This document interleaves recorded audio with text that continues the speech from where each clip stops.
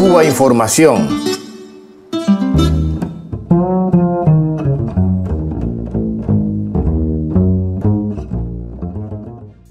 Las mal llamadas radio y televisión Martí, órganos de propaganda hacia Cuba del gobierno de Estados Unidos, van a fichar como gerente general a Alberto Pando, procedente del canal mexicano Televisa. Parece ser un movimiento desde la Casa Blanca para suavizar el tratamiento panfletario y extremista de estos medios contra la isla. Radio Martí, recordemos, fue creada por Ronald Reagan en el espíritu anticomunista de la Voz de América. Hoy, como su canal televisivo, sigue sirviendo a la ultraderecha cubanoamericana ligada al Partido Republicano.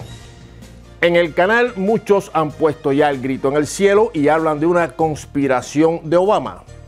Y es que parece que la nueva dirección pretende hacer cumplir ahora reglas elementales del periodismo, como el contraste de fuentes, la no difusión de bulos o el no uso de lenguaje ofensivo.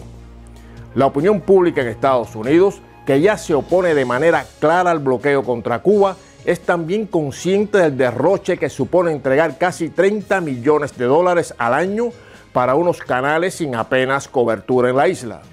La congresista demócrata por Minnesota, Betty McCollum, encabeza una iniciativa en el Congreso para cerrar definitivamente Radio y Televisión Martí medios que además violan todos los convenios internacionales relativos al respeto del espacio radioeléctrico de los países, con el silencio cómplice, por cierto, de los medios internacionales. Radio y Televisión Martí acaban de recibir así un primer jaque.